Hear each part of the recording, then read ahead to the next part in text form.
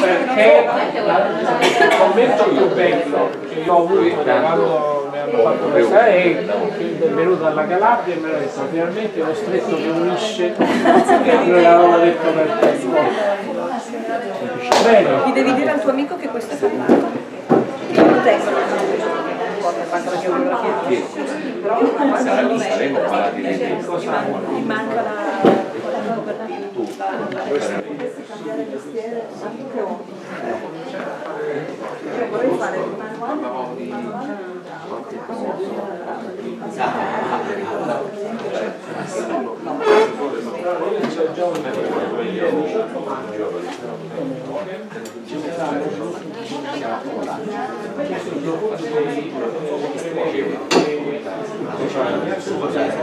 Buonasera, grazie della vostra partecipazione, ringrazio l'autrice Cinzia Scaffidi per la sua cortese collaborazione per presentare questo libro Come Mangia Come Parli, ringrazio la dirigente dell'Istituto Comprensivo Salvo d'Acquisto Giovanna Messina, ringrazio tutti i partecipanti.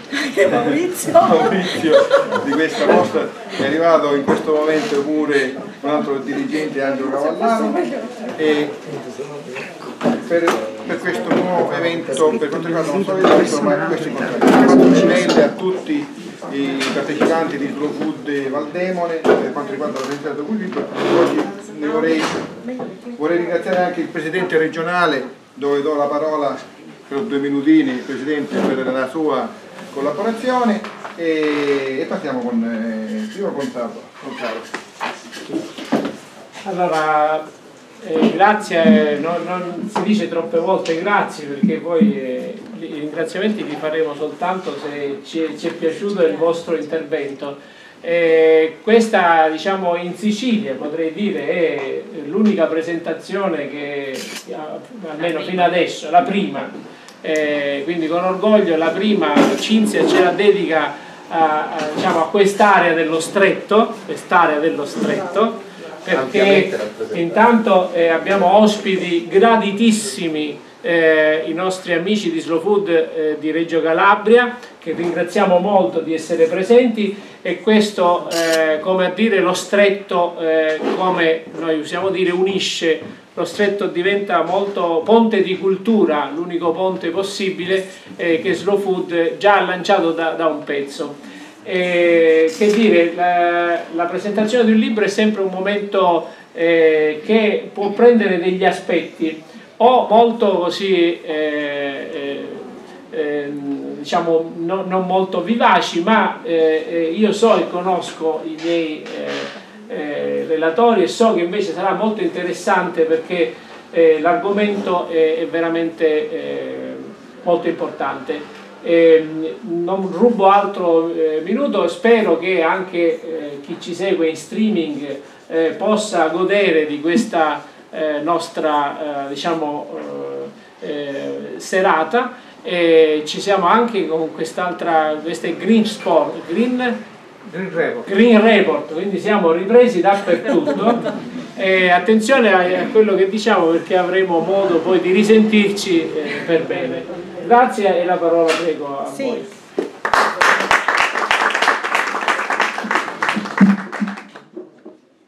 Allora, ringrazio, eh, ringrazio tutti, intanto non si dice grazie ma è giusto ringraziare gli intervenuti e, ehm, e vorrei un attimino eh, presentare il, il, libro di Cinzia Scaffidi che io ho letto in questo periodo diciamo, di vacanze e mi è sembrato molto interessante per, eh, perché pur essendo un, un libro che ha eh, presenta delle parole, quindi voi vedrete su questo testo semplicemente delle parole in ordine alfabetico, ma non è così perché dietro ogni parola che viene ehm, iscritta su questo libro io ho letto non solo la definizione, ma si va al di là della definizione. E, ehm, per mio diciamo, background culturale da sempre mi dedico sia all'alimentazione, si vede pure, comunque eh, ho fatto anche un dottorato in chimica e sicurezza degli alimenti, eh, lavoravo anche nel settore alimentare, quindi è, è, interessante perché ho rivisto tutto ciò che avevo già eh, rielaborato e tutte le pubblicazioni che abbiamo fatto nel settore dell'alimentazione. Quindi non è un testo soltanto di parole, ma dietro la parola c'è qualcos'altro, perché per esempio anche sulla parola etichetta ho rivisto proprio tutta la filiera alimentare, cioè tutto ciò che deve essere scritto in un'etichetta, non è quindi soltanto ehm, l'etichetta qualcosa in cui c'è scritto semplicemente l'ingrediente, ma dietro l'etichetta c'è anche quello che riguarda tutto da dove proviene anche l'alimento.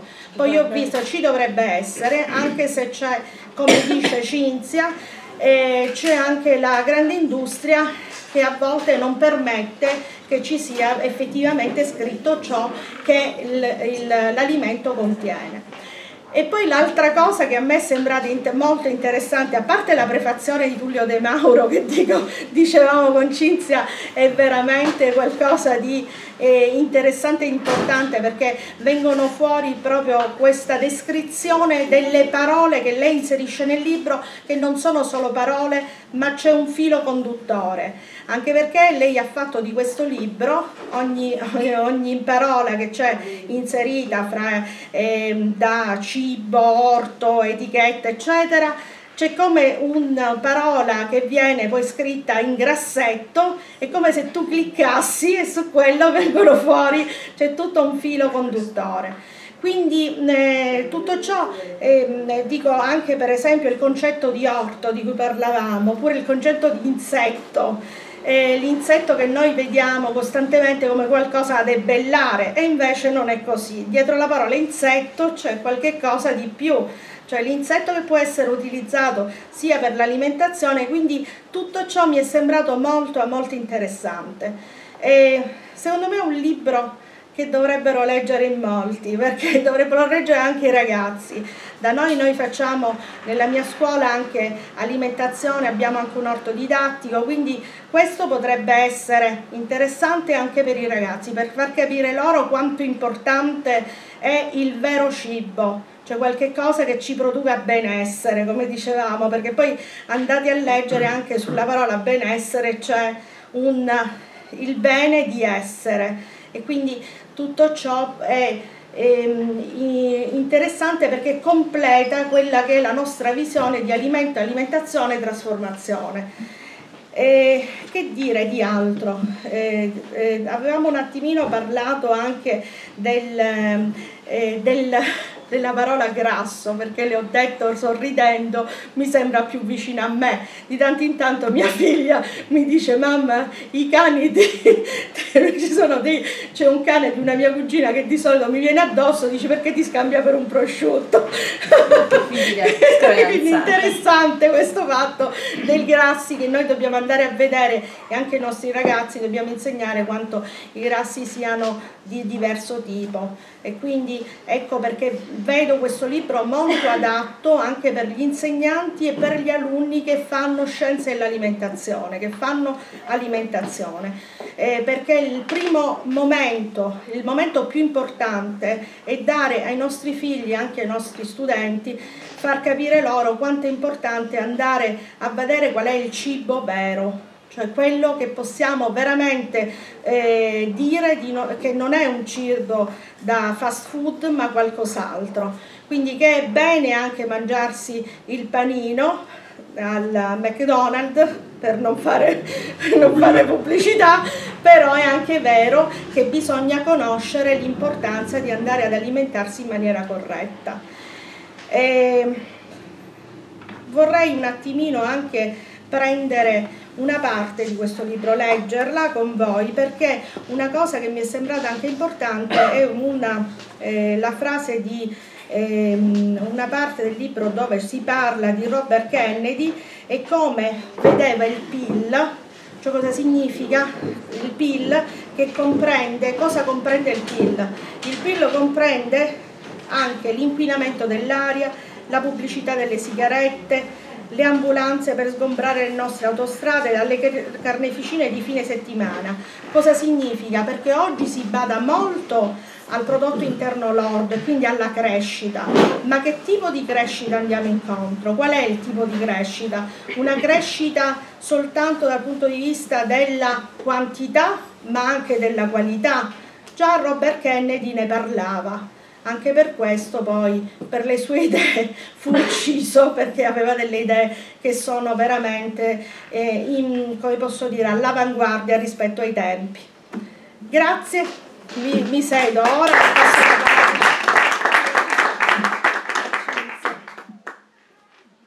Sì, grazie. Questo, questo, libro in realtà nasce dal um, desiderio di, di, di, fare tante cose allo stesso tempo. E, um, la prima cosa era quella di evidenziare le relazioni che ci sono tra i tanti argomenti che corrispondono all'idea di occuparsi di cibo. Eh, io lavoro da 22 anni in un'associazione come Slow Food e quando mi chiedono che lavoro fai, eh, controdomando quanto tempo abbiamo, perché raccontare che lavoro faccio è complicato.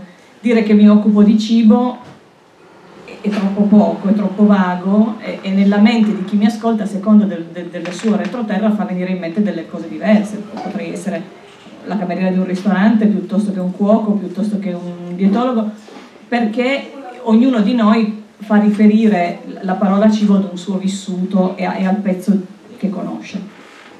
In realtà parlare di cibo è una cosa molto complessa e e io mi sono anche un po' allenata perché insegnando in un'università di scienze gastronomiche tenendo un corso che si chiama interdisciplinarità della gastronomia ho avuto modo di fare un po' di, di, di training su questa cosa qua.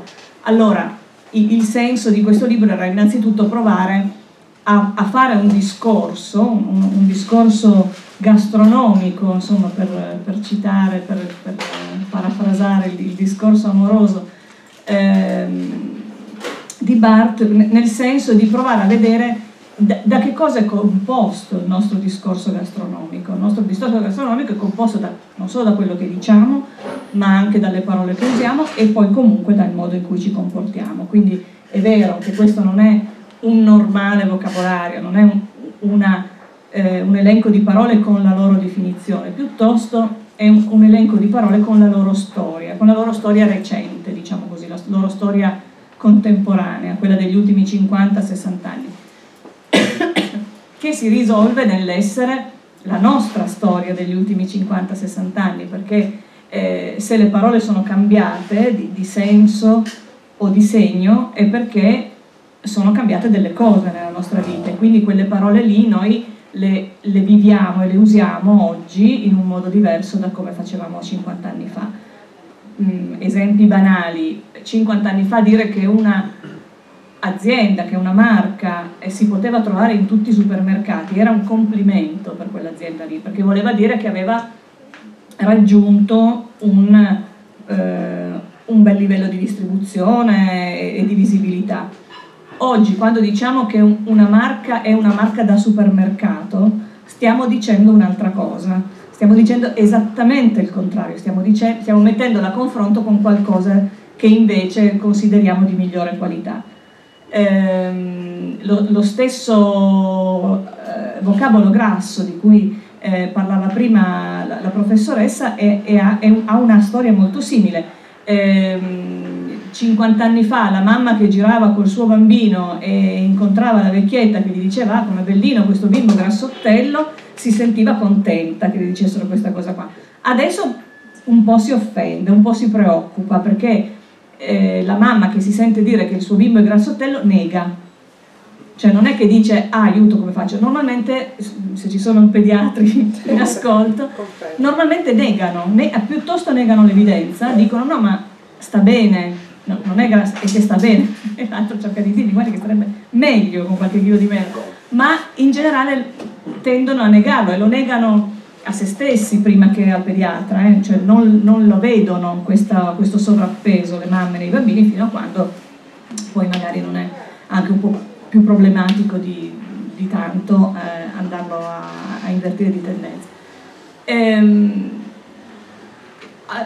parallelamente il termine magro ha, eh, è passato dall'essere sempre in accompagnamento a visioni abbastanza tristanzuole, anche nei nostri modi di dire, le magre figure, i magri guadagni, i magri raccolti, eccetera, eccetera, è, è diventato un, un, termine che si è molto nobilitato. Oggi eh, dire magro significa quasi immediatamente dire sano, dire attivo, dire colto qualche volta, perché tutte, tutti i problemi di sovrappeso nelle grandi città, nelle, grandi, insomma, nelle, nelle società molto sviluppate si hanno nelle fasce eh, della popolazione un pochino più, più, deboli dal punto di vista economico, dal punto di vista culturale, mentre eh, nei, nei, nelle famiglie in cui padre e madre sono molto scolarizzati e hanno abbastanza soldi, i figli possono anche mangiare eventualmente tutte le porcherie del mondo, ma in generale non succede, mangiano un po' meglio, ma poi tra corsi di tennis e, e, e biciclette e cose varie,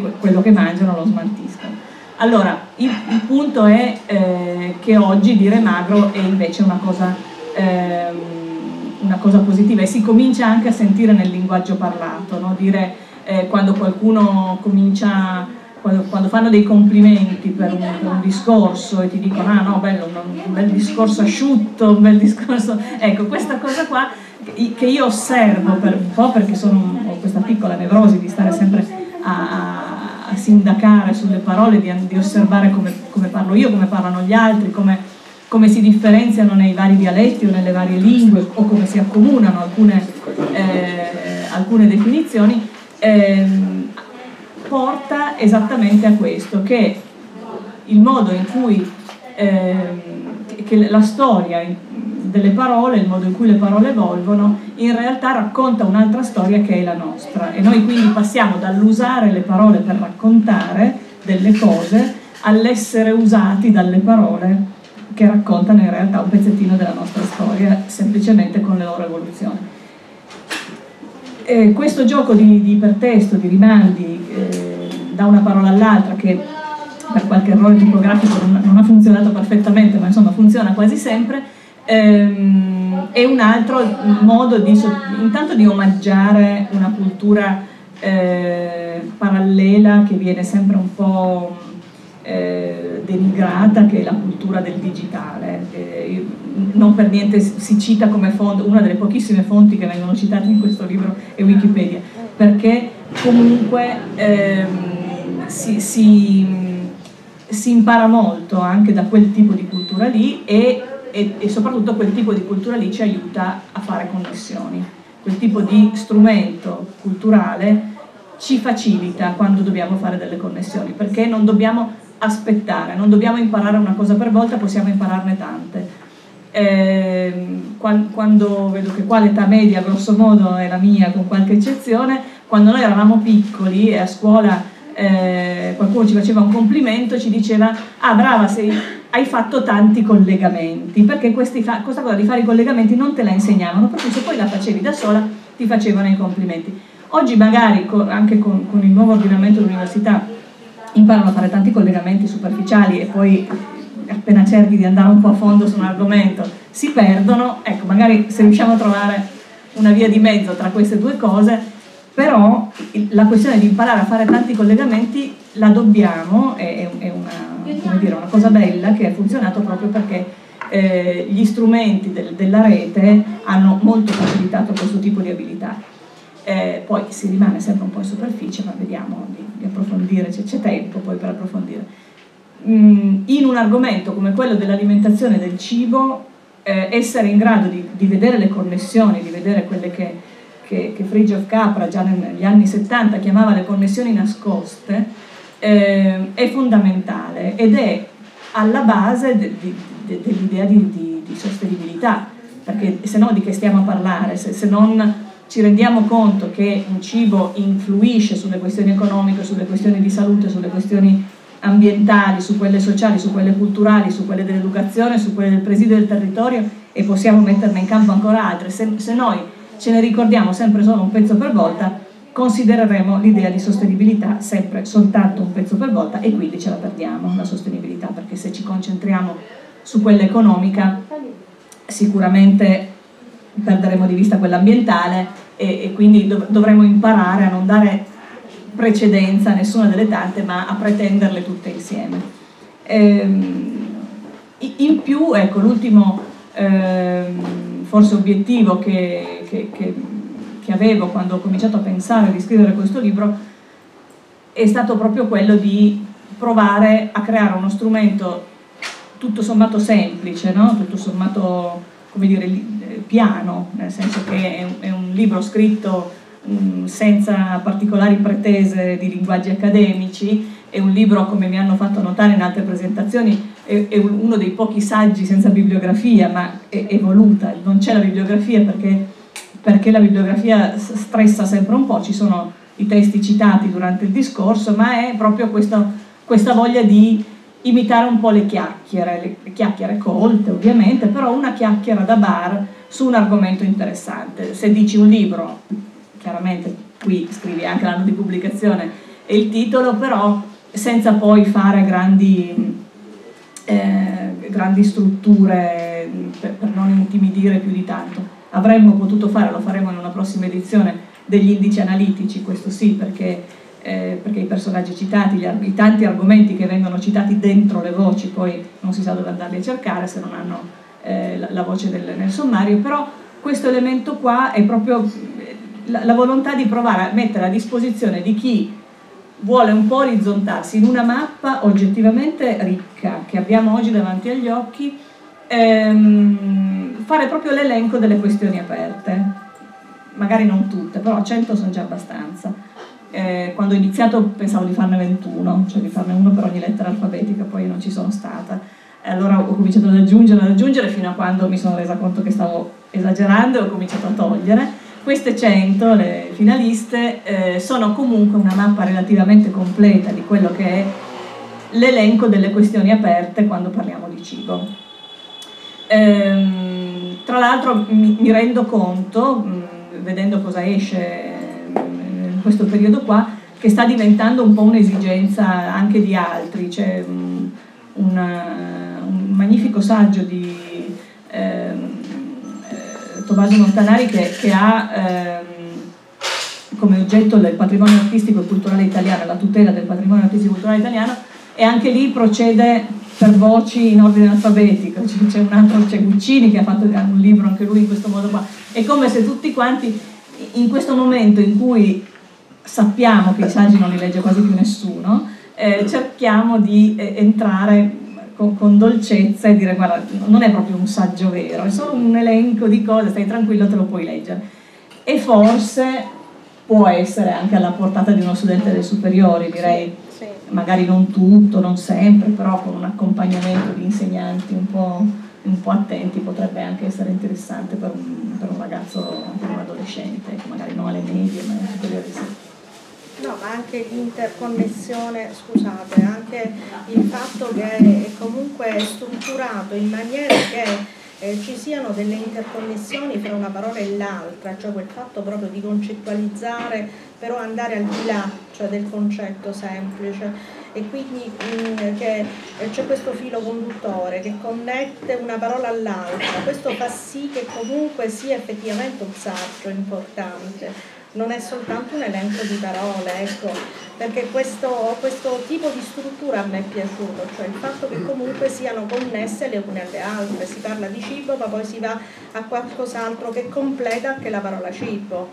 Sì, ehm, di fatto è, è, un libro con una tesi, sì, nel senso che non è semplicemente un una descrizione, ma è, è, un libro anche un po' partigiano, cioè non è un, un libro che si limita sì. a dire ci sono diverse opinioni, scegliete la vostra. Io la mia ovviamente la dico ehm, e, e la, la sostanza di questo libro è che questo grande cambio di paradigma di cui tutti quanti ormai sentiamo parlare da anni, che dobbiamo cambiare paradigmi e non sempre capiamo bene che cosa ci stanno dicendo, in realtà quando, quando ci dicono che dobbiamo cambiare paradigmi ci dicono che dobbiamo trovare un modo diverso di fare le cose, che le cose come le abbiamo fatte fino adesso creano un sacco di guai, che l'economia come l'abbiamo fatta fino adesso ha creato un sacco di guai, che la produzione alimentare come predo, predominante, come l'abbiamo fatta finora, ha creato un sacco di problemi. Allora, questo cambio di paradigmi che in economia si chiama green economy e, e che in altre situazioni si, pot, si potrà trovare con, con, altre definizioni, in questo ambito qua probabilmente sta nel fatto che bisogna eh, shiftare, che non si dice in italiano, ma eh, insomma che bisogna passare da un, un, un paradigma riferito all'individuo ad un paradigma riferito alla comunità, che detto così ci vogliono 5 secondi ed è fantastico, sembra che funzioni tutto. In realtà questa cosa qua sarebbe un, una leva eh, sovversiva, eh, straordinaria, che, che, in questa città peraltro sperimentate da quando avete questo nuovo sindaco, cioè l'idea di avere come obiettivo e come, ehm, come, come punto di arrivo non il proprio tornaconto, il proprio interesse, il proprio profitto, ma il benessere della propria comunità.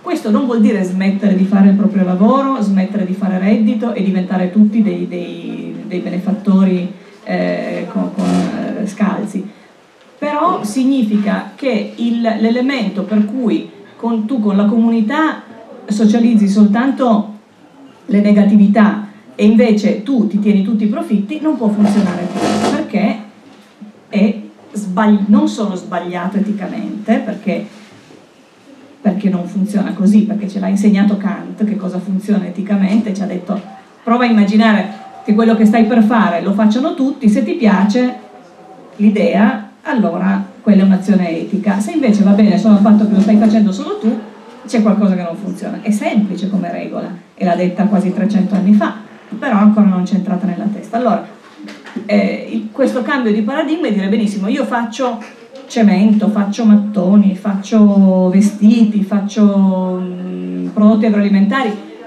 il risultato deve essere che la mia comunità sta meglio. Io li vendo, per carità, però il risultato di tutta questa cosa qua è che io non creo danno a nessuno se, se, voi vi immaginate una cosa del genere applicata alla vostra vita quotidiana e a quella di tutti quelli che conoscete, vi accorgete che eh, immediatamente si hanno dei, dei risultati straordinari. Per esempio tutti pagano le tasse, per dirne una, no? una piccola. Ad esempio tutti quanti pagano le tasse e questo potrebbe già essere un, un bel ragionamento in termini di comunità, perché prima o poi se tutti quanti pagano le tasse, tutti quanti ne paghiamo meno. Per esempio, io non metto sul mercato cibi il cui contenuto calorico è bassissimo, ma il cui contenuto in grassi, in zuccheri è altissimo, perché quel cibo lì non è un cibo che nutre. E se il cibo non nutre, come fa a essere cibo? E allora di nuovo torniamo alle parole. Torniamo alle parole e vediamo come devono essere. Che cosa fa il cibo di mestiere? Nutre. Se il cibo ammala, non, non può essere cibo. Se il cibo crea fame da qualche altra parte, in posti molto lontani da noi, di nuovo quella roba lì non deve essere cibo perché sennò nutrirebbe e creerebbe sazietà e non fame. E, e via di questo passo. Se noi proviamo semplicemente a, eh, provatelo anche nelle situazioni, questo è un giochino abbastanza divertente, quando vi trovate in dibattiti, discussioni un po' accese, impuntatevi su una parola e cominciate a dire no, non ho capito, ma quella parola lì significa un'altra roba, come mai l'hai detta qua?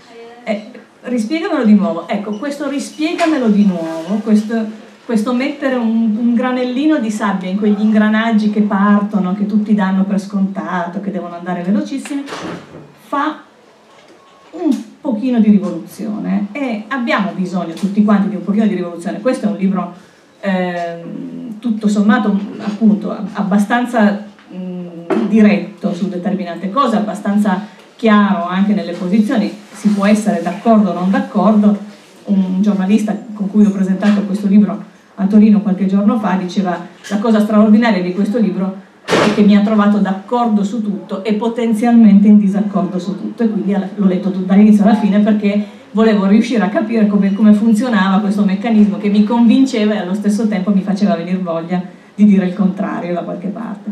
Ecco, mm, era un, Ehm, era un, una voglia di provare a, a, a, dire in maniera il più ordinata possibile, questo non è un campo ordinato, eh, non è quello dell'alimentazione, del cibo, della produzione, delle relazioni di mercato, della salute pubblica, eccetera, eccetera, è difficile mm, metterle insieme in, non so, 190 pagine, quante sono queste, non ho idea, però ehm, perché in sé non è, non è ordinato perché non è stabile. Questa è una materia in movimento costante. Probabilmente se io riscrivessi questo libro tra dieci anni, esattamente con queste stesse parole, finirei per scrivere delle cose molto diverse, però è come una fotografia di, di un movimento e, e, quindi lo vediamo il movimento, è in corso, e, e però noi ci siamo in mezzo e, e in questi 50 anni siamo passati da una situazione molto più semplice, eh, in cui avevamo meno opzioni, in cui eravamo meno bombardati dal mercato e, e dall'industria, in cui però ne sapevamo molto di più.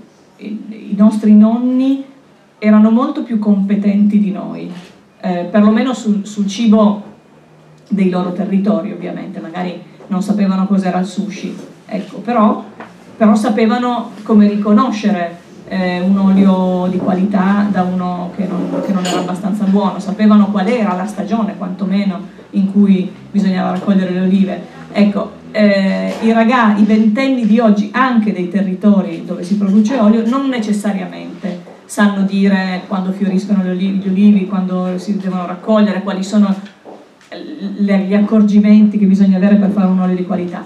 Eh, sanno un sacco di cose in più, sanno, sanno usare il computer, sanno le lingue straniere che magari un tempo si sapevano con meno facilità, però ecco, sanno un sacco di cose eh, come dire, orientate poi al profitto e alla professionalità, ma sanno meno cose orientate al proprio benessere e a quello della propria comunità. Eh, siamo un po' sguarniti, quindi la nostra cultura alimentare si è un po' indebolita, un po' sgretolata. Le, le, le giovani madri eh, o in generale le, le, le giovani donne non hanno un, una relazione serena con, con il cibo. Eh, se oggi ci regalano un iPad nel giro di due giorni, due ore, sappiamo come deve funzionare. Se ci regalano uno scorfano, eh, ci, ci, viene l'orticaria, non sappiamo da che parte girarlo, come lo dobbiamo guardare, come lo dobbiamo pulire, come lo dobbiamo cucinare. Ecco, la nostra capacità manuale eh, e le nostre competenze eh, culturali sono andate un, un po' erodendo. Ci sarà un'app che lo fa. Ci sarà un'app che ci insegna come farlo. Certo, possiamo sempre confidare nelle app, questo è vero. E infatti la quantità e, e, la, eh, e la diversificazione degli strumenti per ricostruire quella cultura del cibo è straordinaria e io ritengo che non ci sia un bisogno di fare una graduatoria di nobiltà tra gli strumenti e che ehm, l'enciclopedia del, del, del Guarnaschelli Gotti ehm, ha, ha, la stessa dignità eh, didattica di, di Masterchef se uno lo guarda con attenzione e sceglie quello che deve imparare, è chiaro che non sceglie ma impara a maltrattare i cuochi, ma magari impara a vedere come si affetta una cipolla. Però ehm, Ecco, quello che è successo in questi anni è che ci siamo molto, molto dispersi e, e questa cosa qua non è successa per caso e soprattutto non è senza conseguenze. Questa è una cosa molto comoda. Il, il, il, mercato alimentare della grande industria, della grande distribuzione ha bisogno di andare in fretta e i, i consumatori, il consumatore è un'altra voce messa in discussione in questo, in questo libro, però i, i cittadini molto competenti non fanno andare molto in fretta al mercato perché fanno domande, perché vogliono sapere, perché scelgono, perché vogliono essere forniti degli strumenti che possano consentire di scegliere, vedi le etichette, e quindi eh, quel mercato lì che diventava sempre così forte, così importante, ha anche lavorato perché i consumatori dicessero vabbè, lascia stare, io adesso imparo come funziona il motore della Ferrari e tra due giorni te lo so dire, tu intanto decidi per me sul cibo. E, e, e c'è stato un, un lavoro anche culturale, psicologico su questa cosa, pensate a quante volte nella pubblicità si usa la parola fiducia o si ricorre all'idea di fiducia. eh, il messaggio che, che, è stato dato al consumatore è fidati del marchio, lascia stare quello che sai, quello che non sai, c'è un marchio che ti dà sicurezza e tu di questo non mettere più in dubbio niente, non stare a vedere cosa c'è in, in, in, quelle sottilette o in, quel tipo di, di salume, lascia stare, ci pensiamo noi. Questa è una delega in bianco che noi firmiamo e però le deleghe sono uno strumento della democrazia. E allora come si passa dal galvanino alla democrazia? Eh, si passa perché se io ti do una delega per produrre il mio cibo, eh, così come quando te la do per governare il mio paese, io devo sapere come fare a rinnovartela quella delega. Quindi io devo essere informato su che cosa fai tu. Per quale motivo in tutti i paesi democratici è sempre centrale la questione della libera informazione? Perché la libera informazione è lo strumento del ritorno, l'andata e la delega, il ritorno e il controllo. Se io non ce l'ho, quello strumento lì, se quel, quella, quella libera informazione libera non è, io come faccio a ridecidere la volta dopo? Come faccio a sapere che cosa te ne sei fatto della mia delega? Allora, a quel punto lì, adesso facciamo finta che, no? che siamo in un paese... Ne, nel, ne, quando si parla di governi, quegli strumenti sono i giornali, sono le informazioni de, de, della, eh, del, della, della quotidianità e della quotidiana informazione, nel cibo non possono che essere le etichette, gli strumenti della democrazia. Però le etichette non possono dire che per fare il formaggio ci vuole il latte, il caglio e il sale, perché quello già lo sappiamo già, è come se io girassi questo libro qua e, e vedo scritto invece della storia del libro che è fatto con, con l'inchiostro, la carta e, e, la colla. Non è, non è, quello che voglio sapere, quello lo vedo, è, è fatto così, lo so che i libri sono fatti con quello. Voglio sapere la storia. E allora la storia di un formaggio sta nel latte, in cosa hanno mangiato le vacche, in che tipo di razza sono quelle vacche lì, di quale zona, se sono autoctone, se non lo sono, come sono state allevate, quanto sono state rispettate, perché i diritti non sono soltanto i nostri, sono anche quelli degli altri esseri senzienti, e a quel punto lì io decido se tutta quella roba lì mi piace e quindi ti rinnovo la delega, che vuol dire che tiro fuori degli altri soldi e lo riacquisto.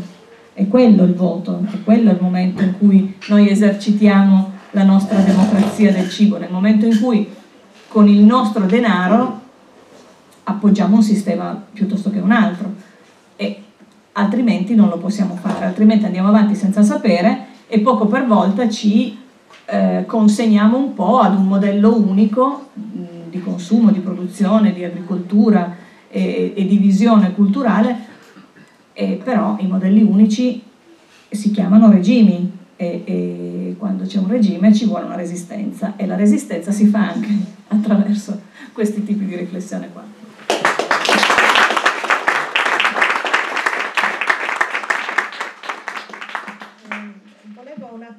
Anche se voi volete porre alcune domande, ma una di queste invece riguarda le politiche alimentari, un'altra parola che io ho letto, eh, ora un po', abbiamo un po' discusso perché le nostre politiche alimentari ad oggi credo che ci siano delle enormi voragini, eh, soprattutto, soprattutto in Italia. Tu dicevi, eh, scusa ti do del tu perché io mi chiamo, eh, quindi politiche alimentari eh, in Italia in effetti eh, il Ministero dell'Agricoltura comprende anche le politiche alimentari. Tu dicevi che non è un, un diciamo che non viene trattata completamente questa parte cioè un, un discorso che in Italia non viene preso in giusta considerazione.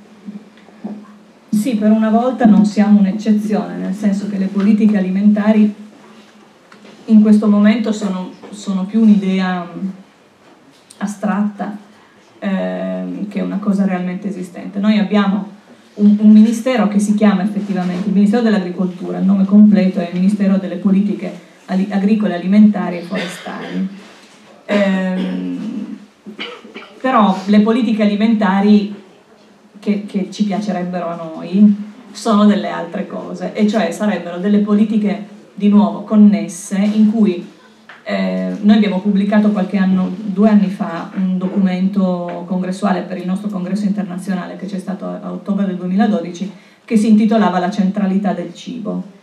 Allora, se noi riuscissimo a mettere al centro dell'attenzione della politica il cibo, otterremmo immediatamente una politica fatta per tutti, no? Perché se tu fai politica per tutti quelli che mangiano, ti sei messo al riparo da tutte le categorie, non stai parlando solo con i tassisti, solo con i farmacisti, solo con, con... parli con tutti. A quel punto lì, se il cibo è il centro ehm, e se tutti i ministeri si rendono conto che il cibo è al centro di tutto il loro lavoro, in qualche modo, che il cibo è connesso a tutto il loro lavoro, si riuscirebbero ad avere delle politiche coerenti, no? Anche lì, parola apparentemente innocua, però avere delle politiche coerenti cosa vuol dire? Un, un, paio di anni fa, grosso modo, a un certo punto in Italia si è verificata la seguente situazione. Quattro ministeri in contemporanea hanno fatto a due a due delle robe che erano esattamente il contrario l'una dell'altra. E cioè il Ministero della, ehm, delle produzioni, ehm, delle politiche produttive ha recepito una normativa mm, europea che eh, sganciava la necessità per le bibite, per i soft drinks sostanzialmente, eh, fino a quel momento c'era stato un 12% obbligatorio minimo di succo d'arancia, l'hanno tolta questo, obbligo, per cui quelle bibite possono da allora essere eh, acqua, coloranti e zucchero, chiamarsi orange non so cosa, e va bene lo stesso, i bambini se le possono bere serenamente. Ora, per carità, era una, era una direttiva europea, una normativa europea che, che, noi dovevamo recepire. Non è che non possiamo, cioè, o, cioè, quando l'Europa ce lo chiede e ci, ci pieghiamo, ma qualche volta possiamo anche dire scusate un secondo, come abbiamo detto, perlomeno protestiamo, no? come sul cioccolato l'avevamo fatto. No, lì non c'è stata proprio neanche l'ombra di, un, di una protesta. Stessi, nelle stesse settimane il Ministero per la Salute ha varato un programma eh, in tutte le scuole di ogni ordine e grado di, eh, incentiva, per incentivare i ragazzi a mangiare più frutta. Sì. Esattamente nello stesso periodo. Questi qui mettevano i dispenser con le mele che uscivano da, da, da, dalle macchinette e intanto appena uscivano da scuola potevano bere mezzo litro di una roba che era sostanzialmente acqua, zucchero e chimica e andava bene lo stesso. Il cittadino bambino era sempre lui, quello che a scuola veniva tirato per la giacchetta dicendo no, mangia più frutta e fuori diceva no, ma non importa la frutta, fa lo stesso. E questo era nello stesso momento. Sempre in quello stesso periodo il Ministero dell'Agricoltura eh, ha fatto partire una bellissima iniziativa che è ancora in piedi oggi che si chiama Rete Rurale Nazionale, dove la logica di fondo era mh, mm, lo sviluppo rurale, come si fa? Si fa ragionando di territori e quindi mettendo intorno a un tavolo tutta una rete nazionale di associazioni ambientaliste o dalla LIPU a Slow Food, passando per Legambiente, WWF e compagnia, più tutte le Proloco, le comunità montane, insomma, una roba anche capillare perché bisogna ragionare di sviluppo rurale in termini di territori e quindi di sviluppo rurale sartorializzato, non c'è un, una ricetta di sviluppo rurale che vale nelle montagne dell'Aquila o a Rimini, ci, ci deve essere un, un ragionamento di comprensione e adattamento dei progetti. In quello stesso momento si cancellava la geografia dalla maggior parte dei curriculum delle scuole dell'obbligo, quindi questi territori, non delle scuole dell'obbligo, scusate, delle scuole superiori, e in particolare in alcune si riduceva soltanto, ma in eh, indirizzi come il turistico, il professionale turistico, l'istituto navale, si cancellava completamente la geografia dai curriculum scolastici, che era una pura follia, che è stata un po' corretta dalla carrozza e non so se poi è stata adesso di nuovo eh, rivista, però intanto mentre un ministero diceva no guardate bisogna partire dai territori, conoscere le peculiarità, ragionare di che cosa sono le esigenze eccetera eccetera, anche in base all'aspetto fisico dei territori che cambia eh, le loro poss possibilità produttive, intanto di là dicevano no ma non studiate perché tanto basta il tom tom. Questo era il senso che ci veniva trasmesso, no? che non c'è più bisogno di sapere dov'è Berlino, no? c'è ancora qualcuno convinto che Berlino sia in mezzo alla Germania, per cui esattamente nel centro da una parte c'era Berlino Est, dall'altra Berlino Ovest, E, e questa era una cosa che già quando si studiava geografia facevano questi errori qui, figuratevi adesso. Ora, non può essere che la politica ragioni in questo modo qua, non può essere che ogni ministero ne faccia un pezzo senza parlarsi con gli altri e che nessuno si renda conto che un prodotto di qualità, per arrivare dalla sua eh, origine fino in tavola, sulla tavola di qualcuno, nel suo percorso, se, se è un prodotto di qualità, ha fatto dei servizi per ognuno di quei ministeri. Ha fatto un servizio culturale mantenendo una comunità sul suo territorio, ha fatto un servizio eh, di educazione tenendo insieme tutte delle competenze che altrimenti si sarebbero perse, ha fatto un servizio idrogeologico perché specialmente se sono territori di zone svantaggiate, chiamiamole così, se, se, la gente non se ne va è meglio, ha fatto un servizio per la salute pubblica, ha fatto un servizio per l'acqua, non inquinandola, ha fatto un servizio per il, il suolo, eh, non facendolo inaridire, ha fatto tutta una serie di cose che sono competenza del Ministero della Salute, del Ministero dell'Ambiente, del Ministero della Cultura, del Ministero dell'Economia, perché poi arriverà anche al mercato quella roba lì. Allora, se noi facessimo legare le nostre competenze dal cibo, riusciremmo probabilmente ad avere una visione di comunità davvero un pochino più rispettosa del benessere e proveremmo forse anche a dare un altro senso alla parola benessere, che non, che non può essere soltanto quello del reddito, della, della quantità di, di, di, soldi che ognuno di noi sa fare, perché ormai ci misuriamo soltanto su quelle, misuriamo la nostra qualità personale sul netto in busta paga e non può essere così, noi siamo molto di più del nostro netto in busta paga, siamo molto meglio, possiamo crescere in tanti modi che non, che non prevedano necessariamente che qualcuno ci lasci le penne, per esempio, cosa che invece ogni tanto è, è, è obbligatorio in questo sistema qua. Noi, in, in tante situazioni noi eh, privilegiamo le nostre necessità qualche volta non sapendo quanto danno facciamo e qualche volta pensando che in fondo non è affar nostro, se facciamo del danno è perché il sistema ci consente di farlo e buonanotte, allora viva il sistema, andiamo avanti così finché ci conviene. Però se cominciassimo a ricordarci che il privilegio di essere nati in un posto che è questo, che, che è l'Europa, che, che è l'Italia, è un privilegio che non ci siamo guadagnati, ma che è figlio del caso e che chi invece nasce in zone più povere non, non non come dire, non è una condanna che ha ricevuto per i suoi peccati, ma è un altro caso e quindi parimenti ingiusto, forse potremmo riuscire a capire un pochino meglio quanti equilibri smuoviamo ogni volta che tiriamo fuori il portafoglio per, per fare la spesa.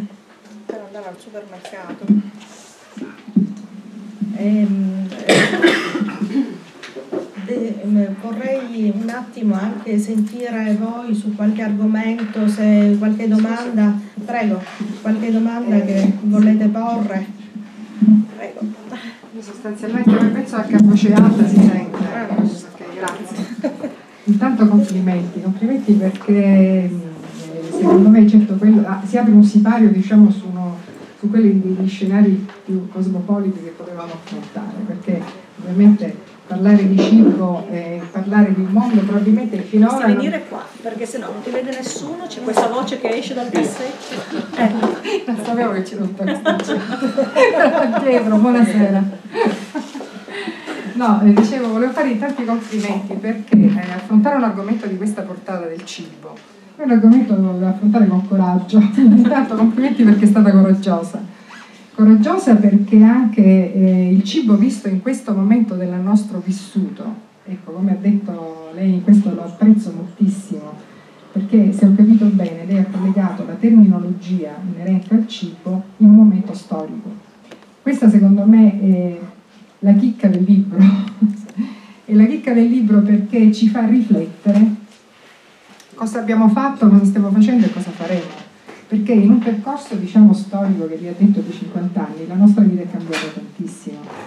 Evidentemente anche nei, nostri stili di vita nei nostri stili di vita anche il cibo. La donna stava a casa e cucinava ora noi donne corriamo a destra e a sinistra e gli uomini ci aiutano a cucinare. Cioè il cibo lo viviamo sicuramente in un altro modo.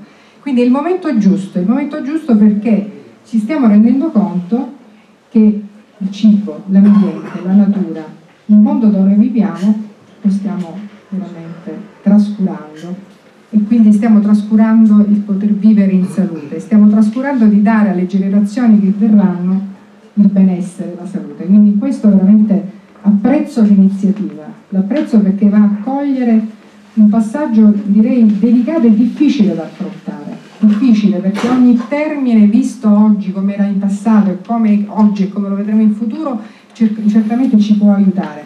Il titolo Mangia come parli mi fa pensare e in questo eh, non so se la, l'autrice, quando noi facciamo un ragionamento, come io sono seduta a questo ragionando, facciamo un percorso, facciamo delle connessioni mentali, se noi preparando il cibo o prima di mangiare pensiamo a quello che stiamo facendo, perché non lo facciamo più? Non lo facciamo più. Ormai si va subito al supermercato, si compra di corsa, si butta in pentola e si serve a tavola quindi mangia come parli, complimenti.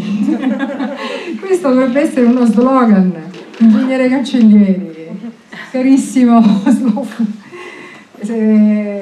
rappresentante di slow food che abbiamo in questo può fare lezione di questo discorso. Cioè se noi effettivamente da questo momento cominciamo a dire mangia come parli, quindi quando metto il soggetto, il verbo e l'azione, e quindi il cibo lo vedo, sto mangiando il pane.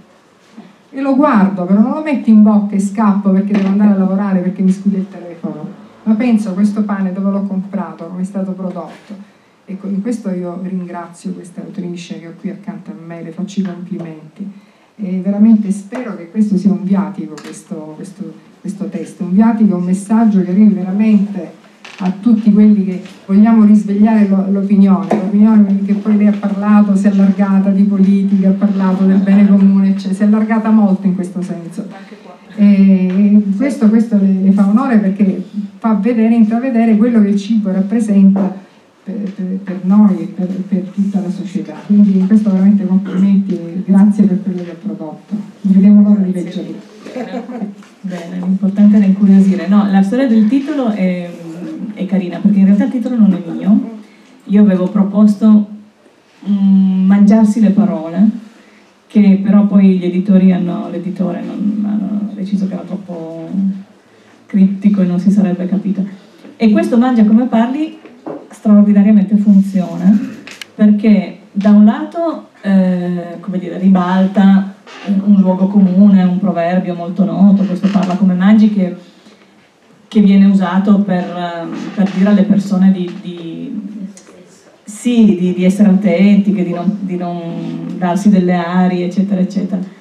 E, e invece mettendolo sul mangia come parli, forse si dà un po' per scontato che facciamo attenzione a come parliamo e io su questo non mi sento di metterci la mano sul fuoco però tendenzialmente dovrebbe essere così uno prima di parlare riflette e se magari lo facesse anche prima di mangiare giustamente potrebbe avere un senso. Ehm, quando abbiamo presentato questa, questo libro a Milano c'era Stefano Battezzaghi che eh, insomma evidentemente di, di, parole se ne intende e che diceva che, che su, quando noi ci occupiamo di cibo quando, quando programmiamo un, un pasto, stiamo molto attenti al registro, no? e quindi se siamo da soli o se siamo con qualcuno, con un amico, con un fidanzato, con un capo ufficio, cambiamo anche il tipo di pasto, cambiamo come apparecchiamo, eccetera, eccetera. Mentre lui lamentava il fatto che invece i registri linguistici ormai si sono perduti, per cui ci sono parlamentari che parlano come facchini e, e, che, che, ne vanno anche fieri e con tutto rispetto per i facchini peraltro che però questo è un, retaggio familiare per cui il termine facchino diventava l'emblema del, eh, del, del, popolare. E, e, invece ci sono eh, appunto ormai si, si, va un po' fieri del fatto di non distinguere mai un registro. Ecco l'idea che eh, invece dando credito no? al fatto che prima di parlare ragioniamo, eh, provare a, a, pensare che il modo in cui parliamo di cibo oggi è, è, molto uno specchio del modo in cui mangiamo. E questo era il senso del titolo messo qua, poi si arricchisce ogni volta di nuove interpretazioni, però è, è bello. Però è proprio il, messaggio di questo libro qui è questo, occhio perché il, il modo in cui usiamo le parole del cibo corrisponde abbastanza al modo in cui usiamo il cibo e quindi conviene eh, insomma ragionarci un pochino di più. Sì, prego. Questa è la postazione di chi deve fare gli interventi, quindi allora eh, sposto un po' l'attenzione sull'ambito siciliano, visto che recupero, mi, mi occupo di questo, e, e anche calabrese, perché siamo, il concetto è molto simile. Noi siamo delle regioni molto fortunate, perché se nell'accezione comune noi abbiamo eh, l'idea che queste siano regioni svantaggiate, questo ci ha portato ad avere dei vantaggi, cioè mentre nel nord Italia e in buona parte d'Europa quella evoluta, parliamo industrialmente, eh, si è persa da quasi un secolo tutta la cultura contadina relativa al cibo, da noi si è persa da poco tempo, si sta perdendo recentemente, cioè noi abbiamo un vantaggio di una cinquantina d'anni di eh, retrogradezza rispetto alle parti evolute. Questa è una chiave di lettura che più mi inoltro in situazioni di quasi isolamento o di svantaggio di, di, di, di orografico, penso ai Nebrodi, giusto per, non so se conosci, Nebrodi, ecco eh, che sono così preziose, ricchi di biodiversità proprio perché sono rimaste un poco eh, lontano da questi circuiti, eh, diciamo, da questi flussi. Allora, eh, eh, nel libro spesso si, si, parla di come si è evoluto il termine negli ultimi 50 anni. Noi abbiamo un'opportunità, grazie penso a questo libro, quello di eh, vedere com'era anche il mondo qualche anno fa e che per alcuni nelle zone evolute è un lontano ricordo quasi ancestrale, quasi ormai eh, finito attraverso qualche generazione che non c'è più. Da noi ancora questo contatto c'è, quindi la lettura di questo libro potrebbe essere un'opportunità per queste zone siciliane, calabrese, eccetera, di dire bene, queste cose ci sono ancora. La Sicilia è la regione più ricca di presidi d'Italia. I presidi sono giustamente perché siamo in streaming, i presidi sono i prodotti che Slow Food seleziona fra quelli che raccontano il territorio attraverso una storia di eccellenza, quelle famose tre parole del buono, pulito e giusto, per cui un cibo, un prodotto deve essere organoletticamente eccellente, buono, pulito, rispettare la natura è giusto avere un giusto rapporto con il produttore. Allora, noi ne abbiamo tantissimi di questi prodotti. La cosa interessante è leggere il libro e fare in modo che in tutte le parole, ma soprattutto in quelle relative proprio al cibo, fare in modo che eh, le possiamo recuperare. Un'azione che Slow Food fa più di altre è quella di rendere consapevoli le persone di, di, di cose che eh, che molte, per molti versi sono perse. Nel nostro caso eh, in Sicilia e in Calabria o anche in, in, zone cosiddette meno evolute abbiamo questo vantaggio, ripeto, di poter riprendere questa consapevolezza di cui c'è un ricordo fresco, ecco, diciamo così, non, non perso del tutto. Eh, quindi eh, io ti chiederei eh, appunto di, eh, attraverso per esempio la parola etichetta che è stata sì. detta eh, di, di, riprendere questo tipo di concetto e magari adattarla alla nostra eh, realtà diciamo, de, de, de, della Sicilia.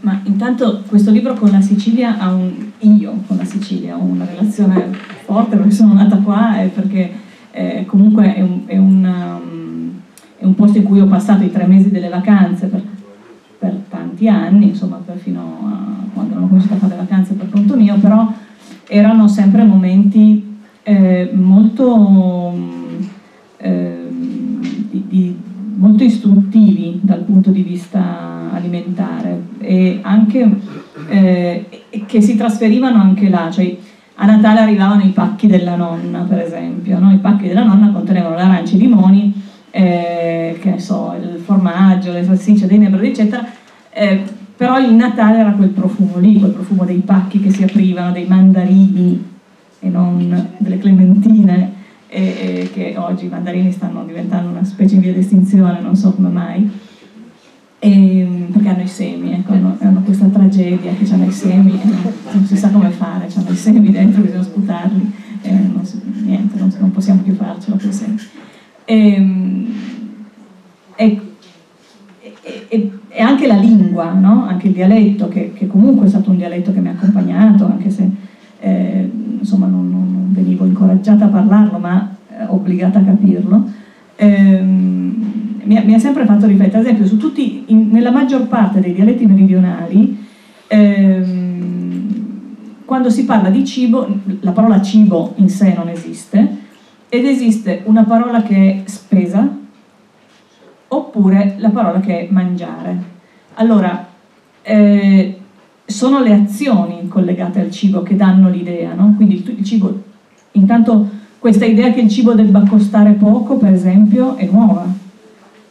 A, a nessuno è mai venuto in mente dei nostri anziani che il cibo dovesse essere una cosa a basso costo. Il cibo era la spesa. E, e questa cosa qua è magnifica. Se proviamo a dirlo oggi a chi continua a dirci no, ma bisogna mettere sugli OGM perché così il cibo costerà di meno, e ci accorgiamo che culturalmente questa non è un'idea radicata, nessuno di noi, dei nostri progenitori, ha pensato mai che il cibo dovesse costare meno. E, oppure il cibo era quello che si mangiava. Eh, cibo è una parola molt, molto politica, no? in qualche modo molto culturale, e anche molto nobile, che infatti raramente viene usata dal mercato se voi guardate le pubblicità, tendenzialmente la parola cibo non si usa, si usa la parola prodotto, si, usa un, eh, si usano altre cose, però cibo diventa una parola forte, nobile, globale, cibo è una parola eh, che, che, segna già un discrimine no? tra, tra chi produce per il mercato e allora produce prodotti, merci e, e poco altro, e chi invece produce per l'alimentazione allora produce cibo e, e il grande spartiacque tra le, i, due tipi, i principali due tipi di agricoltura, quella industriale e quella insomma, di, di, di sostenibilità, di tradizione, è proprio questo. L'agricoltura industriale è orientata al mercato, produce roba da vendere. L'agricoltura sostenibile e di tradizione produce roba da mangiare. Ed è, ed è una bella differenza. Allora, in, questo, in questa regione che ha una serie di vantaggi fisici, cioè il fatto di essere un'isola eh, dal punto di vista della biodiversità è un, un vantaggio pazzesco perché, ehm, perché, le cose vanno via molto meno facilmente, parlo delle specie selvatiche, degli animali, del, degli uccelli, degli insetti, cioè, c'è, un, un, ecosistema ehm, che, che, che, è difficile disperdere. Ehm, e anche eh, si differenziano più facilmente perché in un ambiente piccolo poi gli incroci funzionano meglio, eccetera. Quindi tutte, tutti i vantaggi dell'essere isola ovviamente si traducono poi anche in, eh, in, in vantaggi qualitativi, no? tutti quegli altri che ho elencato prima sono vantaggi quantitativi, però, però si traducono in vantaggi qualitativi se, se ci capiamo su cosa vuol dire qualità perché altrimenti eh, di nuovo se, se, se, non ci, se, non ci, accordiamo sulle parole no, non andiamo da nessuna parte. Allora, quando poi eh, parliamo di una gastronomia di qualità, eh, capiamo che la biodiversità è fondamentale, capiamo che avere a disposizione per tutto l'anno o per quasi tutto l'anno un numero straordinario di verdura e di frutta è un, un, un elemento importante e che chiaramente all'interno di, di questi alti numeri ci sono anche delle cose che si stanno perdendo. Eh, normalmente perché non sono, mm, dire, non sono consone al, alle, alle, richieste del mercato. Maturano troppo tardi, sono troppo delicate, non possono viaggiare, il pomodoro ha la pelle troppo sottile, non si può raccogliere meccanizzando, e allora bisogna insomma, fare tutta una serie di scelte che portano a fare in modo che si continui a scremare tutta questa punta di, di diversità per andare verso quello che è il più standardizzato possibile, in stagioni prevedibili, che si possa fare in monocoltura, eccetera, eccetera.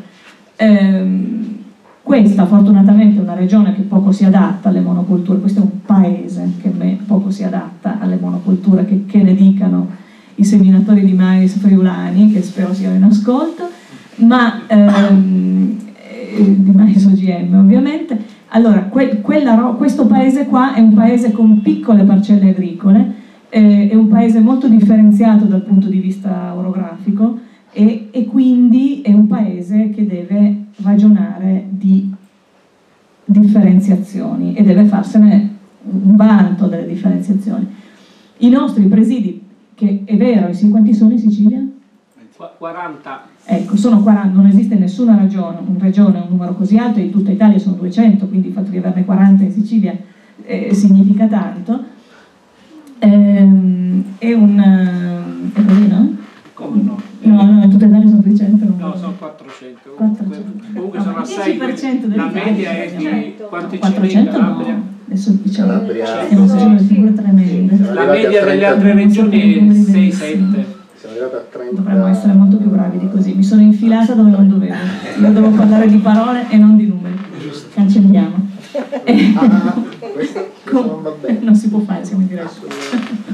e quindi, ehm, no, però voglio dire che, che, da questa cosa qua deve nascere non solo il senso forte de, della cultura della gastronomia, ma anche il senso straordinario di un'economia che sta dietro tutta questa cosa qua.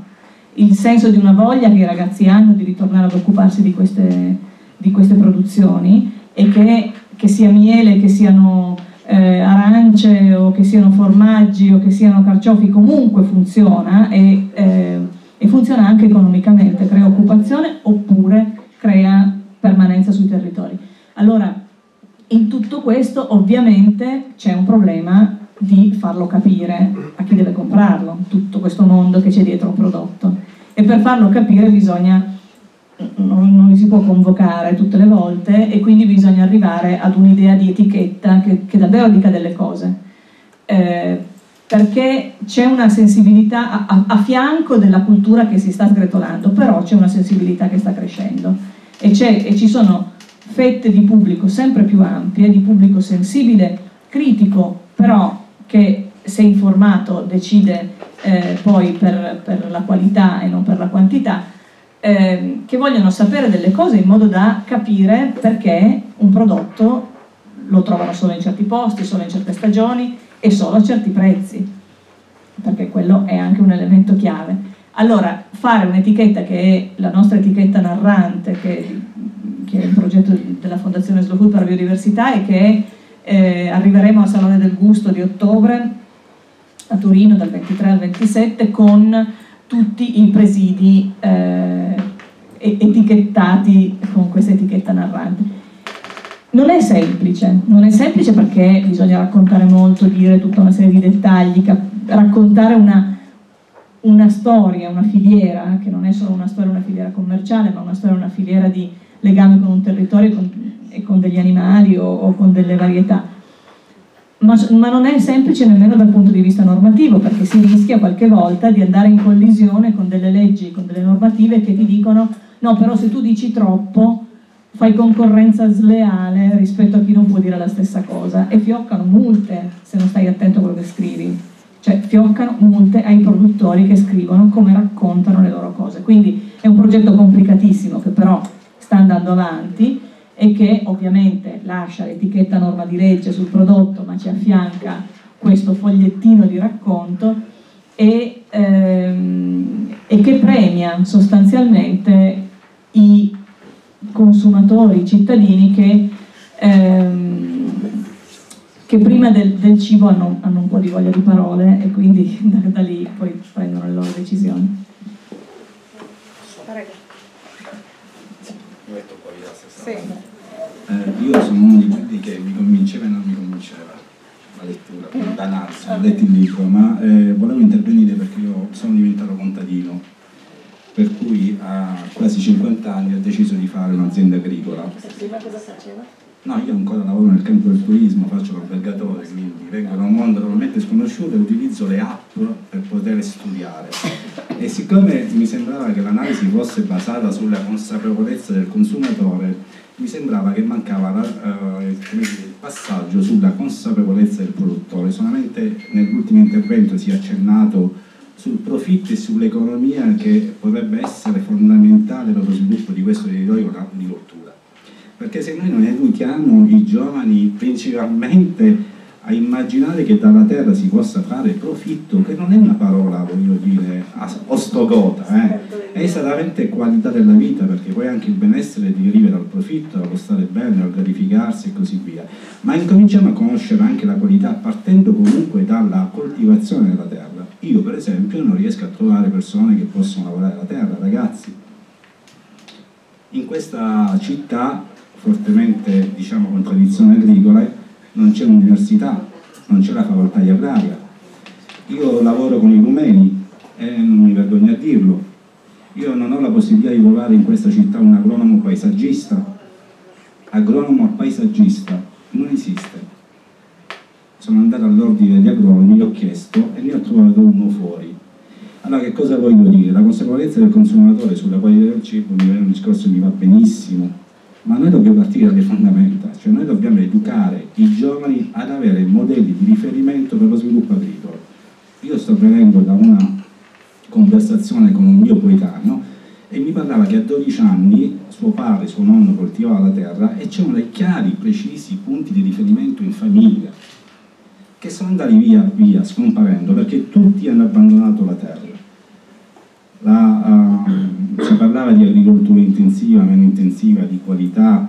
Io sto cercando di fare un ragionamento su un'agricoltura biologica, l'ho fatto in città, non è che l'ho fatto in campagna. Io mi sono preso 4 ettari e mezzo di terreno e sto coltivando, non mi vergogno a dirlo, sto coltivando e voglio fare un'agricoltura di qualità. Voglio educare i giovani ad avvicinarsi alla terra, perché in realtà è un'azienda agricola a tutti gli effetti, è un'impresa commerciale. E per chi lavora nel campo del turismo vi posso assicurare che l'agroalimentare è una delle nostre uniche possibilità. Ci sono grossissimi imprenditori nell'agroalimentare siciliano che in realtà il mercato interno e quindi quello locale non interessa nella maniera più assoluta perché loro vanno all'estero. Una bottiglia di nostro vino siciliano, ma Fabio Giotta lo sa perfettamente, in Giappone costa 50 euro, prodotta solecchiata. Allora voglio dire, se noi non educhiamo i ragazzi all'interno delle nostre famiglie a pensare che la terra, il territorio, la risorsa terreno è esattamente una risorsa economica che può portare qualità, benessere, sviluppo, lavoro, occupazione, noi non creiamo le basi di avere un buon consumatore perché le posso assicurare che il concetto di Lavoisier quando lui dice tutto, nulla si crea, nulla si distrugge tutto si trasforma, solamente in campagna lo puoi capire e lo capirai esattamente al 100%. Io per esempio la prima cosa che ho fatto è un allevamento di lombrichi, perché il compostaggio io lo faccio, il riciclo esattamente rifiuto agricolo, io lo percepisco benissimo. Allora non mi vergogno neppure a dire che molte volte vi faccio il giro dei ristoranti amici o dei panifici per potermi fare dare il mangiare per i lombrichi. Ma solo se vivi la campagna prendi la consapevolezza del consumatore e la qualità del prodotto e capisci la differenza tra una fragola buona e una fragola scarsa. Noi dobbiamo creare queste figure, noi dobbiamo all'interno della nostra famiglia parlare della campagna in maniera amicale.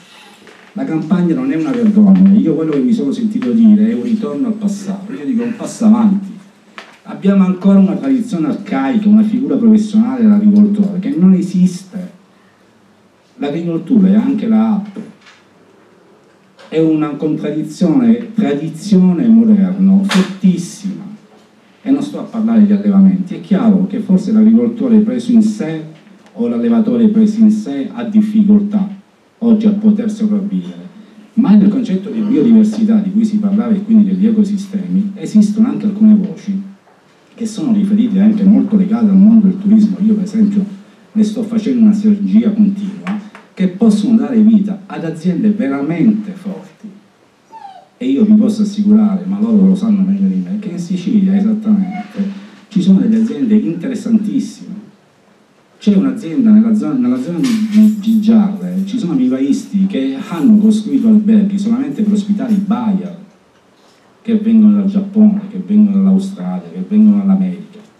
Noi abbiamo le uniche condizioni pedoclimatiche per far sì che alcuni prodotti sono esattamente nostri, Ecco perché dico, benissimo la qualità del cibo, benissimo la consapevolezza del consumatore, conoscere e riconoscere un'etichetta, ma alla base noi dobbiamo sapere e dobbiamo avere la consapevolezza del produttore. Noi dobbiamo lavorarle perché altrimenti la qualità non la percepiamo.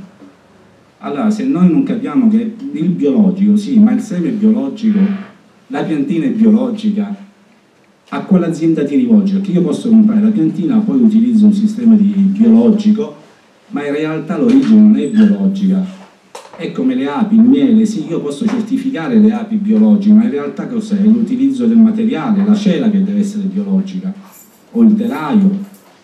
Ecco, ci sono delle nozioni che noi non sappiamo e io sinceramente sconoscevo, piano piano ho avuto difficoltà a trovare modelli di riferimento, ecco che cosa voglio dire. Poi mi rivolgo all'app, me ne vado su internet, su YouTube, poi mi faccio il giro dei paesi, incomincio a conoscere le persone anziane e mi racconto la loro esperienza. Ecco, oggi mancano questi modelli di riferimento.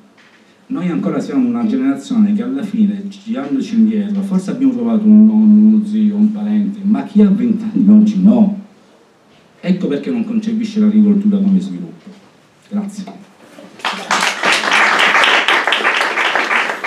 Benissimo, probabilmente questo, questa terra sconta um, quella che lui sconta quella vicinanza con, con un periodo in cui il lavoro in agricoltura era associato anche ad una condizione di scarso prestigio sociale e di, di, di, scarsa, dire, di scarso benessere materiale e quindi eh, arriverà un pochino in ritardo l'ondata di ritorno alla terra e in questo momento il Signore ci protegga gli immigrati, eh, perché se non ci fossero loro, non solo qui, ma in tantissime parti d'Italia il nostro Made in Italy lo salutiamo, la fontina in Val d'Aosta la fanno i sì, eh, il vino nelle langhe lo fanno i macedoni, le vigne le curano i macedoni perché non si trova più nessuno che vada a potare. Quindi eh, prima di chiedere restrizioni e limitazioni agli ingressi pensiamoci un secondo. Eh, però eh, sicuramente questa cosa è partita e, e non si ferma e, e, in questo momento di necessità di ripartenza e di considerazione di che cos'è la campagna, di che cos'è il lavoro agricolo, eh, il Nord non ha più niente da dire, non ha quasi più niente da dire, non ha più terra. Eh, le grandi pianure o sono cementificate o sono insterilite dalla chimica, per cui se, se un giovane oggi vuole, vuole, ripartire con un'azienda agricola deve venire qui, deve, venire, deve, andare in Molise, deve andare negli Appennini, deve andare in Abruzzo, non, è inutile che vada in Lombardia. In Lombardia se c'è ancora qualche pezzo di terra fertile costa un occhio della testa, e in Franciacorta e ci fanno eh, ci fanno lo spumante, ma sicuramente non c'è nessuno che vende in questo momento. Eh, ecco, oggi bisogna ra ragionare a livello macro e a livello micro di tutte quelle zone considerate svantaggiate. Ci sono anche nelle grandi città i parchi eh, intorno, le aree agricole intorno alle grandi città, Milano compresa, per esempio, sono zone di ripartenza di aziende agricole guidate da giovani giovani in senso lato, nel senso che ormai appunto siamo anche in una società in cui si rimane giovani a lungo e quindi possiamo includere nella categoria la maggior parte di quelli che sono qua. Mm, però la, cosa importante è proprio quella che sta lentamente e quindi succederà dappertutto eh, cambiando anche il senso di questo lavoro, cam cambiando il senso della parola agricoltura e, eh, e del mestiere e forse potremmo chiudere leggendo Zappare, sì. che è l'ultima. Questa, questo libro inizia con, agricol con, agricoltura e finisce con Zappare. E, ehm, e Zappare, ve la leggo. Nel bene e nel male, il riassunto degli ultimi 50 anni sta tutto in questa parola, o meglio nel tono con cui veniva e viene pronunciata. L'atteggiamento tipico tradizionale, per usare un neologismo coniato in questo stesso libro, che avevamo nei confronti del verbo zappare qualche decennio fa, rivisto oggi, non ci fa onore. Ai ragazzini che non brillavano a scuola, gli insegnanti dicevano ti conviene andare a zappare. Le madri che volevano spronare i figli a impegnarsi negli studi minacciavano, se no ti mandiamo a zappare. E queste espressioni avevano un corollario di opzioni che oggi si usano sempre meno e con meno spavalderia braccia rubate all'agricoltura, per esempio, non si dice quasi più. All'agricoltura arrivano, sempre più spesso, menti aperte e formate nelle più disparate facoltà universitarie. Oggi chi dopo una laurea, un master, un periodo di esperienza professionale in qualunque altro ambito dice vado a zappare, lo dice con un orgoglio e una convinzione lontanissimi dalla rassegnazione con cui lo avrebbe detto prima o invece degli studi o delle altre esperienze 50 anni fa. Non è cambiata l'idea della fatica la terra, come si sa, non si è elevata al livello della scrivania, è sempre bassa allo stesso modo e la schiena bisogna piegarla. Ma è cambiata la visione di quella fatica, che non è più considerata un brutto lavoro fisico, ma una summa di saperi e di competenze ad amplissimo spettro, quelli che servono per occuparsi di cibo, come le scienze gastronomiche ci hanno insegnato e come i contadini di tutto il mondo hanno sempre praticato.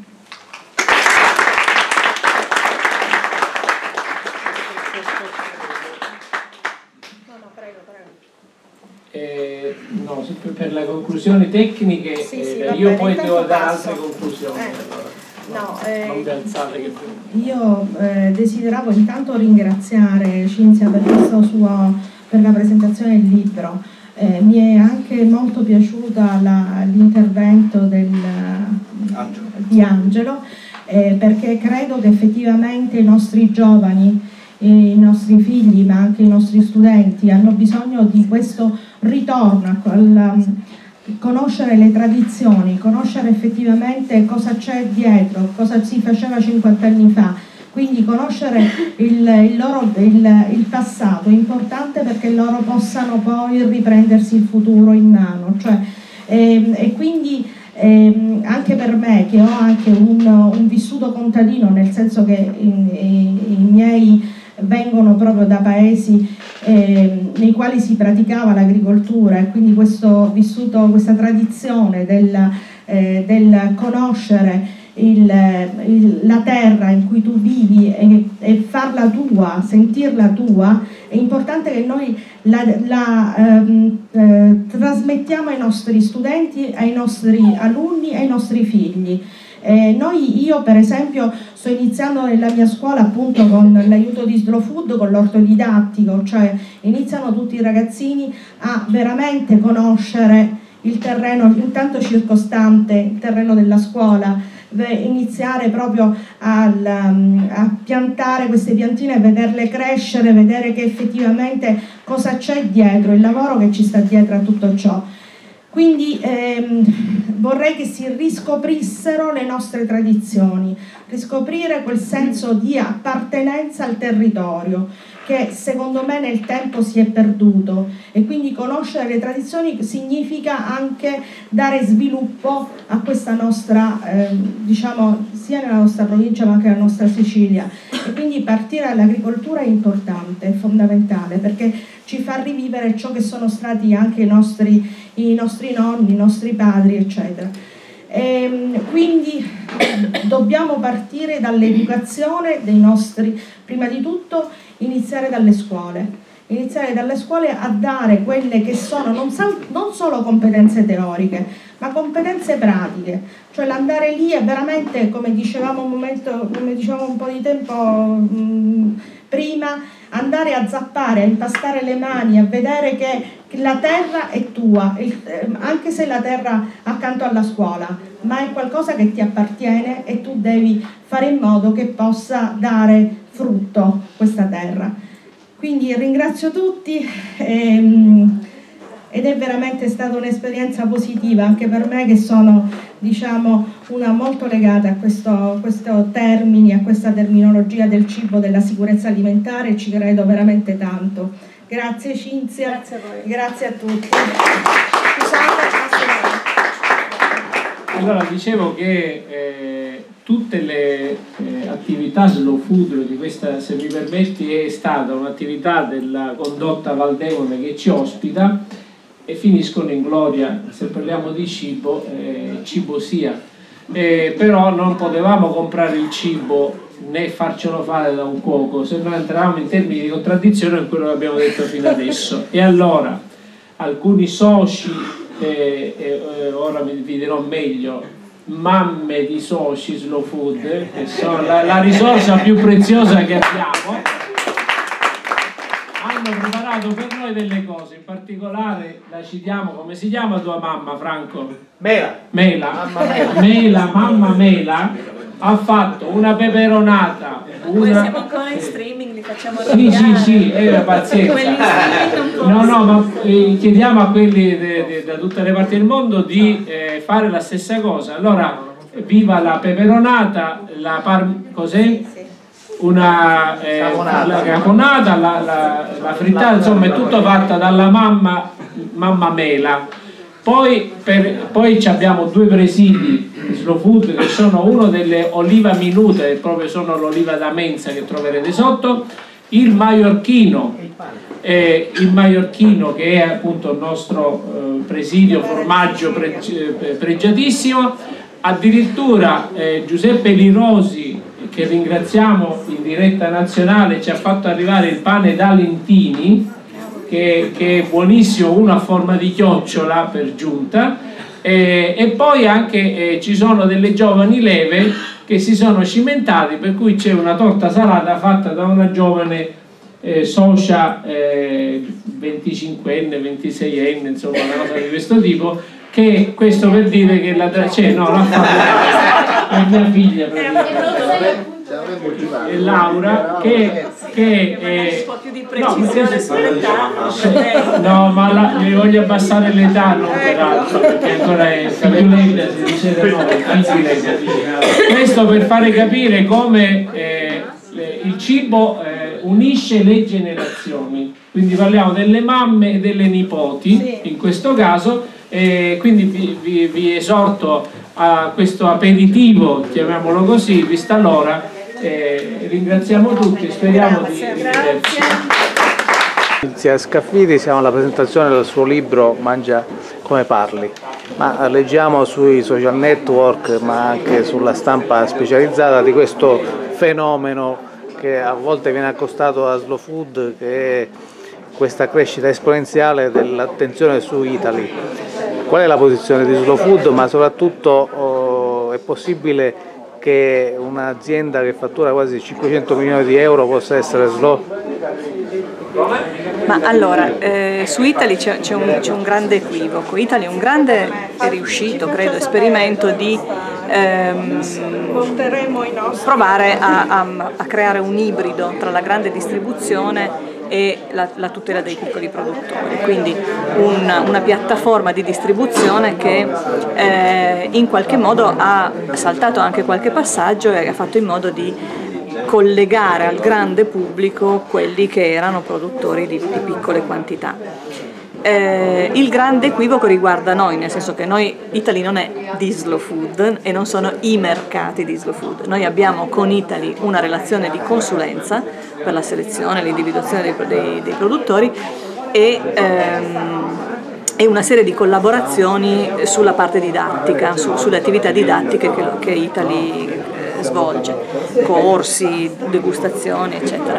Ehm, c'è, c'è sicuramente un pochino di, di- di confusione data anche eh, da- dal- dalla scelta delle parole, che qualche volta quelle che per noi sono parole di, ehm, di- di interventi nei saggi o nei convegni diventano poi invece parole di slogan pubblicitari a- ad opera di questa azienda, che è sicuramente un'azienda di grande successo con, con una potenza comunicativa molto, molto importante, che quindi poi raggiunge un grande pubblico e magari un po' di questa confusione le fa anche eh, gioco. Eh, però appunto la relazione di Slow Food con Italy è, è quello, Italy non si è mai sognata di essere un'azienda slow, Italy è un'impresa economica che fa capo a un uomo da- di grandi capacità in termini di business che si chiama Oscar Farinetti e che certamente eh, ha avuto questa grandissima intuizione eh, di, di fare in fretta e tutto sommato con, con una grande eh, capacità di, di- di espansione e, e di comunicazione una cosa che non esisteva, e cioè uscire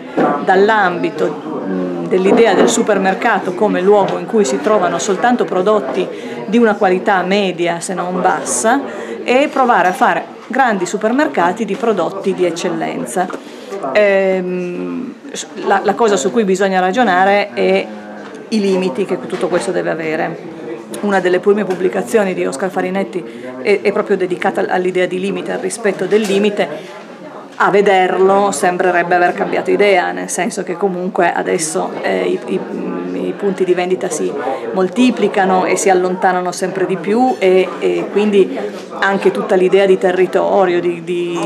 però ad esempio negli Stati Uniti eh, una buona percentuale di quello che viene venduto è prodotto negli Stati Uniti, poi ci sono alcuni grandi marchi italiani certamente, però ehm, ecco, non è così ehm, assoluto no? poi il fatto che più lontano lontano vai e meno sostenibile sei. E quindi possiamo concludere con stai sereno, slow food. slow food stai sereno, sì sì.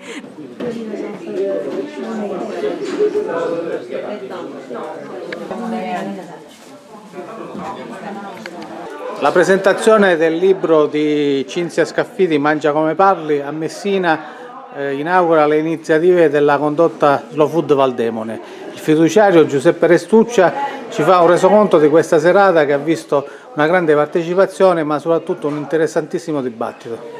Eh, questa serata è stata una serata particolare, intanto avere Cinzia qua a Messina eh, è stato un onore per noi. E poi un dibattito particolare che, che, che ha intrigato visto agricoltori, insegnanti, dirigenti, è stato un dibattito molto favorevole per quanto riguarda il, il, la nuova la nuova formazione di questi ragazzi che dobbiamo formare come mangiare il cibo, questa parola cibo, mi, mi, mi, è partito proprio, sono rimasto colpito quando ha parlato dell'ultimo vocabolo che ha messo nel libro, zappare, che mi ricorda una cosa quando dice ma vai a zappare, mi diceva mio nonno, mi diceva mio nonno, magari. e quindi come zapperemo in Sicilia? La Sicilia è la terra in cui ancora zappare, eh, come anche dice Cinzia, è possibile. Forse nessuno si rende conto come se ci si volesse dare all'agricoltura, eh, darsi all'agricoltura in Lombardia diventa una cosa molto difficile e invece in Sicilia eh, i terreni fertili sono la vera nostra risorsa. Allora l'esortazione è questa, la Sicilia è una terra ricca tutt'oggi e, e, la sua apparente eh, retrogradezza invece eh, deve essere eh, vista come un'opportunità, opportunità di valutare, darsi all'agricoltura nel rispetto però sempre dell'ecologia e quindi eh, l'agricoltura nel rispetto dell'ecologia è il futuro vero della Sicilia. E quindi ringraziando il Presidente di Slow Food Sicilia e il fiduciario di Slow Food Valdemone ringraziamo tutti i nostri telespettatori.